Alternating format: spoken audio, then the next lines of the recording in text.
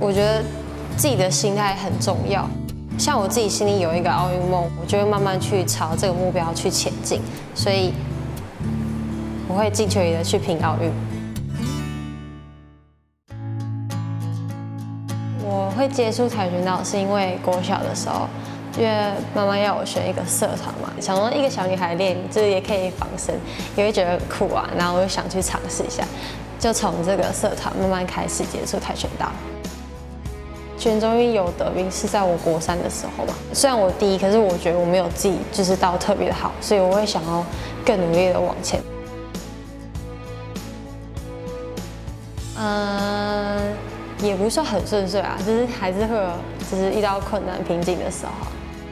我觉得最低潮应该是亚锦赛那时候，因为在亚运前嘛，因为第一个跟韩国，然后其实比完之后才知道我们就是需要改进的地方有很多。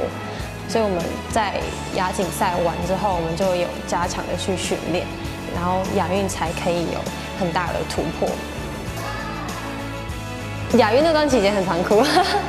因为会觉得我，因为我自己，我觉得我自己要求蛮就是蛮完美的，然后我就会觉得我自己踢不好，不是家人骂我，是我自己踢不好，我也气自己，就是说为什么这么简单，为什么没有做，没有做到这么好这样。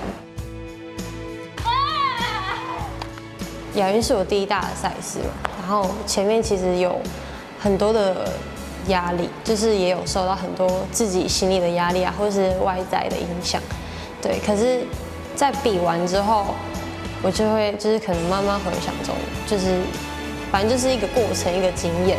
对。然后到现在比一些比一些大的赛事，我觉得我就可以自己再慢慢调整自己的心理。嗯，我小时候其实我也不敢想，因为 只觉得会去羡慕那些比较厉害的那些选手。可是到慢慢大了之后，会去有那个想法去想，说我我站在奥运殿堂，经过亚运的赛事，我觉得